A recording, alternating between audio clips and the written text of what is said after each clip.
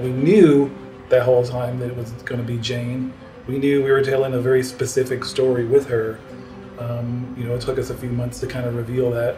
Then you found out kind of why she was worthy and what she was struggling with, and that was that she was dealing with cancer in her human life, and and being Thor was basically killing her a little bit more every time she picked up the hammer because that transformation would neutralize the effects of her chemotherapy. So we, we've watched her struggle with that for three years now.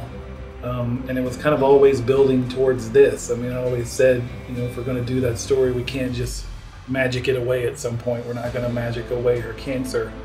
The other major threat that, that Jane faces right now, it's not just the cancer that's killing her mortal self, it's the Mangog who's wiping out all of Asgard. If you go back and look over the course of my run, there are teases here and there over the course of six years pointing towards Mangog. So we were always building towards that story.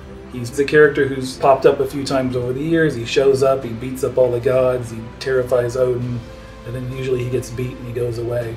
But he always manages to come back. So uh, the idea of him coming back as sort of this judgment and punishment of the gods really fits into the themes of the book that stretch back to, you know, again, to Thor God of Thunder number one. Certainly, this is a story, you know, that Jane's arc has always been building towards, but also just the overall story of Thor and of Asgard and of Thor Odinson and of Odin.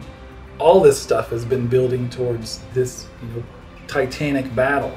I think this changes everything for the world of Thor going forward.